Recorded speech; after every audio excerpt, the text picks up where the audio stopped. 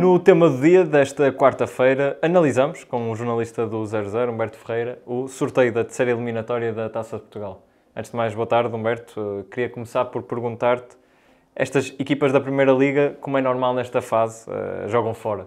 Temos Sintrense, Pevidem e Portimonense para Porto, Benfica e Sporting, respectivamente. Que análise fazes a este sorteio? É um sorteio que acabou por ser até, uh, boa tarde antes de mais, uh, Diogo, e a todos os que nos seguem, um sorteio que acabou por ser uh, feliz na ótica das equipas que maioritariamente ganham a Taça de Portugal. Naturalmente, é, dessa, é dessas que estamos aqui a falar de uma forma inicial. Futebol Clube do Porto, campeão em título, o Sporting perdeu essa final e o Benfica também. Ora, o Futebol Clube do Porto e o Benfica vão medir forças frente a equipas que estão a disputar o Campeonato de Portugal. São equipas manifestamente inferiores. Um, o Sporting vai ter um osso, um osso uh, mais duro de roer, que é a equipa do Portimonense, uma equipa que começou mal a temporada, mas que até já trocou o treinador, agora o Ricardo Pessoa treinador, uh, e estando na segunda liga, a equipa do Portimonense vai fazer com que o jogo do Sporting tenha um condimento diferente de atratividade.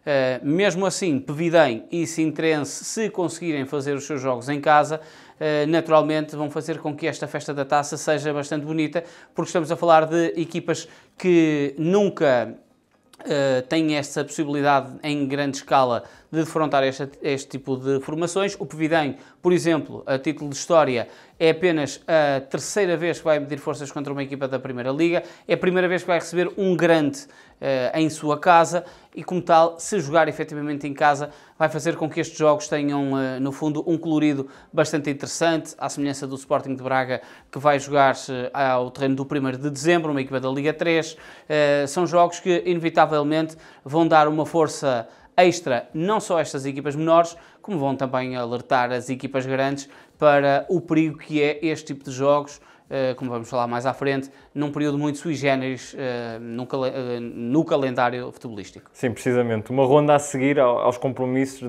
das seleções e antes da jornada europeia. O que é que isto pode significar? Isto vai significar desde logo que os grandes, e principalmente os grandes, que são quem coloca mais jogadores nas seleções, tenham quase que a obrigatoriedade de rodar porque um, o Futebol Clube do Porto vai ter muitos jogadores nas seleções, o Benfica também, o Sporting também. Uh, o Sporting pode não rodar tanto em virtude de jogar diante de uma equipa como é o Portimonense, uh, mas vai fazer com que a organização física que os treinadores tenham que aplicar para estas partidas uh, vão originar que a gente, que as equipas se apresentem com outro tipo de jogadores, vão rodar inevitavelmente, até pela força da importância das competições europeias e de pontuar quase sempre nas competições europeias, vai inevitavelmente fazer com que Benfica, Futebol Clube do Porto e Sporting apresentem-se com uh, outras rotações nestes jogos, uh, não só porque trabalharam nos últimos dias com outro tipo de jogadores, mas também porque tem essa preocupação europeia na jornada a seguir,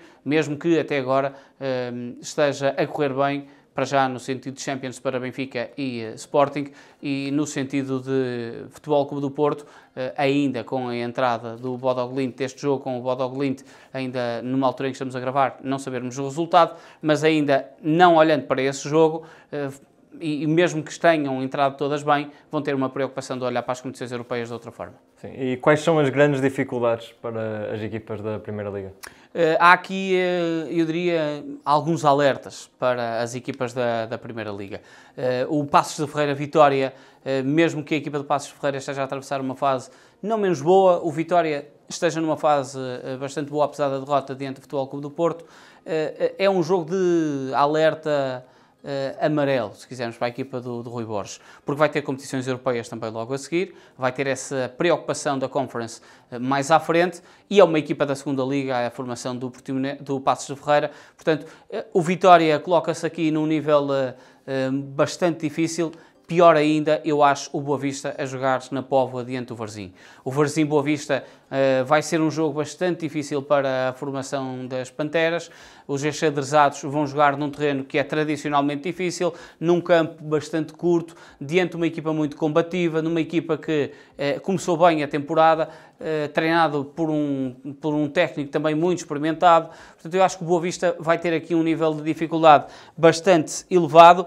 Um, ehm, e depois há um Belenenses Gil Vicente. E este jogo, historicamente, pode traduzir-se quase numa.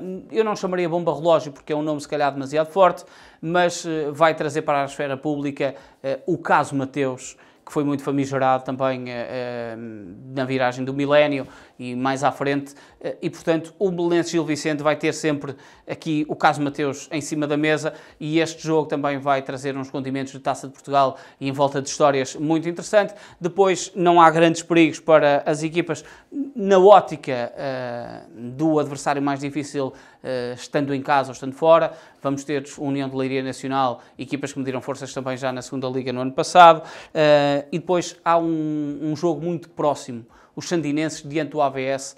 Eh, são duas equipas que estão distantes uh, de forma muito curta, ali pela Nacional 15 ou 115. Aqui agora estou na, na, dúvida de como é que se chama aquela Nacional, mas é Nacional que liga Santo Tirso até ao Conselho de Guimarães e os Sandinenses sendo do Conselho de Guimarães e o AVS sendo da Vila das Aves, vai fazer com que este jogo também seja bastante interessante de seguir.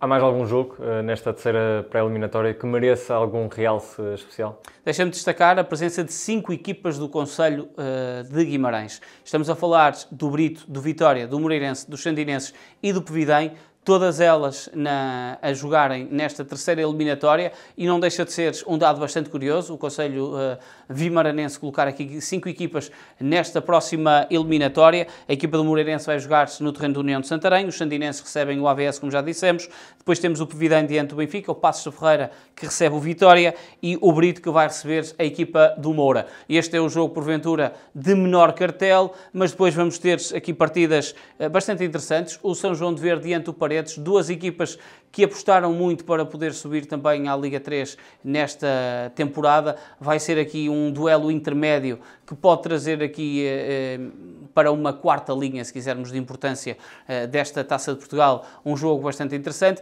E depois o facto das equipas da Primeira Liga terem sido todas sorteadas para jogar contra equipas inferiores faz com que muitas das outras equipas inferiores meçam forças entre si e por isso vão chegar mais à frente na competição. E chegando mais à frente na competição, olhamos com expectativa para uma quarta eliminatória e a festa da taça perdurar também durante muito mais tempo. Uh, Caldas Tircense é um jogo entre dois emblemas muito históricos do futebol português. Uh, vai ser bonito de ver, até porque o Campo da Mata normalmente tem bons ambientes durante todo o ano na Taça de Portugal de uma forma mais particular e, portanto, uh, há aqui jogos bastante interessantes. Eu destaco este do Caldas Tircense e destacaria também, como disse, o uh, São João de Verde diante do Paredes, como dois jogos diferentes para vermos também entre equipas de menor dimensão. Obrigado, Humberto. O quadro completo da Taça de Portugal encontra-se em 00.pt e já sabe, pode assistir ao tema do dia todos os dias nas plataformas habituais.